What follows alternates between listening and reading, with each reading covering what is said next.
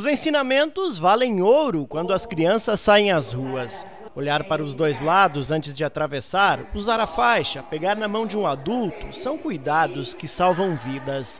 Estas foram apenas algumas das dicas repassadas pelo personagem Beltrãozinho, que está percorrendo as escolas de Francisco Beltrão. A forma lúdica, criativa e divertida foi a maneira escolhida para levar conhecimento através do Departamento Beltronense de Trânsito. O intuito é a gente atender mais de 7 mil crianças percorrendo todas as escolas da rede pública e particular de Francisco Beltrão, levando essas informações de uma forma assim é, leve, de uma forma gostosa, onde as crianças possam compreender melhor o seu papel no trânsito e levar essas informações para os pais também. A campanha Beltrãozinho Volta às Aulas com Segurança também está distribuindo um material didático com dicas, exercícios e adesivos voltados à segurança no trânsito.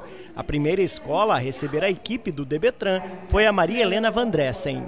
As crianças elas precisam ouvir e visualizar para eles conseguir ter uma, um aprendizado melhor. E o trânsito foi muito feliz na colocação de pôr o Beltrãozinho, que é uma uma pessoa né, que transmite a mensagem dos cuidados com o trânsito e faz com que a criança se interesse mais em ouvir e aprender. E falando em aprender, da palestra, os alunos foram direto às ruas colocar em prática o aprendizado. Vocês não podem correr, olhar para os dois lados, bem bonitinho, não vê nenhum carro.